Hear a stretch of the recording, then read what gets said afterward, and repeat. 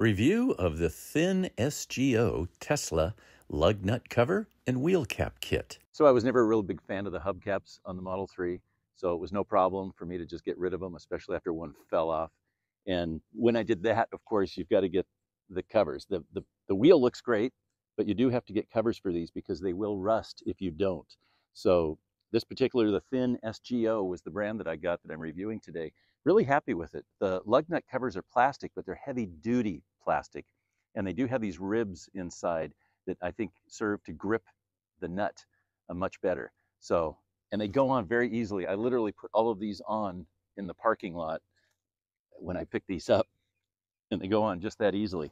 And if you need to take them off, the kit does come with a remover.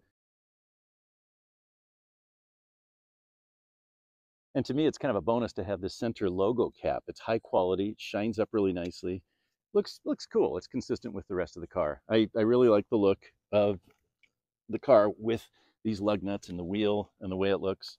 And uh, I'm real happy with it.